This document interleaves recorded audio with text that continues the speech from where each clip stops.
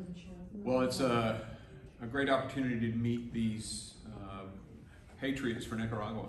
These women who are standing up for not only their families, their missing husbands, but all of the people in Nicaragua. And we just want everyone to know that we stand with them and with the people of Nicaragua. And we will uh, demand that the Ortega regime um, show us where these individuals have been taken. Where are they? Let's see them.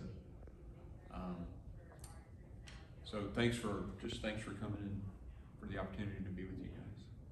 Thank you for hearing our story. Well, I also want to thank you.